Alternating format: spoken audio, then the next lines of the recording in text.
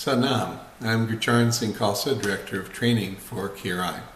I want to invite you to a beautiful experience. I want to invite you to come out of innocence, out of love, out of hope. Come to Solstice this year, 2012. Every year for the last five years, we have been preparing. We understand that there's a grand transition occurring, that this is the first point in human history where the entire globe is seeking a consciousness together, examining our values, finding our heart, and finding ways that we can each commit to ourselves and to each other to create a world that is creative, full of peace, and that recognizes the oneness that we all share. That's the 3HO community promise.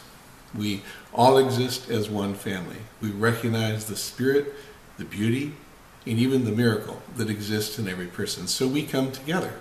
We climb up the mountain, we go into the blue sky, and we share several days where we meditate and we chant and we share food, stories, entertainment, and music.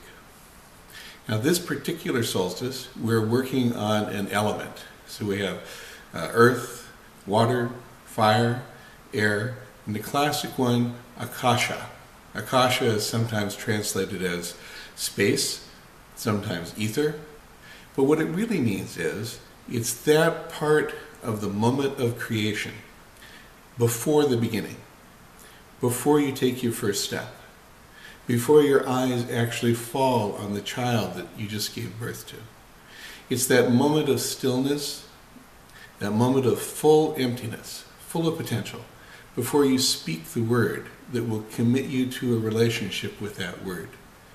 So to cultivate the sense of the ether, is a very special place. It's the most subtle, it's the most rarefied. In fact, the meditation that we practice at solstice for this ether, for this akasha, is just a single word, Waheguru, a phrase that takes you into the ecstasy of standing before the infinite and allowing the innate knowledge and intelligence that is in your mind and soul to become present to you. So we meditate on Waheguru. We listen to that sound and we enter into kind of stillness. From there, you take just a moment to have a perspective on your life, on what's meaningful, on what your sense of destiny is, where your fulfillment is, what you're going to do with your next breath and your next step. If you want to go into that depth, if you want to celebrate the amazing potential of life, if you'd like to learn some of those techniques that we all practice, that we share with everyone, please join us Bring your love, bring your connection, bring your innocence, and let us create a beautiful word together so that our world can be even better. Satnam.